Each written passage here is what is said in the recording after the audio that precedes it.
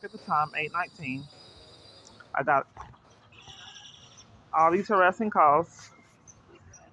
Look at the time, 8:06. 15 calls. As soon as I got my phone out, as soon as I got my other phone out, they stopped to record it.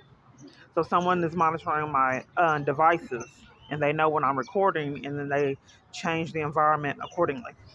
Like the police officer came to interrupt that man, it rescued him when I started recording his rant. Uh, he was I was on my phone. I didn't even uh, pay attention to him, and I saw someone yelling at me. So I could, took the headphones off and tried to question what was going on, and that's when the police interrupted it. Then put me off the train for it in the scheme. Illegally monitoring someone and um, violating their life accordingly in your corruption is criminal. I said it's time for your interview. We're talking now, right? Okay, I'm gonna have a question. Um, you said that uh, I have schizophrenia and I have a mental illness. Calling someone 70, yes. 80 times in a day. What is That's that about? Because you don't talk to anybody.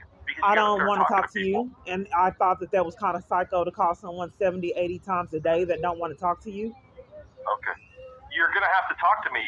I don't want to. let this go. And I'm, I'm just trying to figure out people. why you think that uh, that you're, you're rational by calling lady. someone seven or eighty times a lady, day that does not want to talk to you. You're not to harass people on my planet. Look at how many videos you I have. I just don't want to talk to you, sir.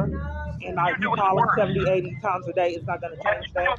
And I'm just curious on why you think I'm mentally ill, but you're calling someone that don't want to talk to you. What you do is worse, lady. Bye. Yeah, see ya.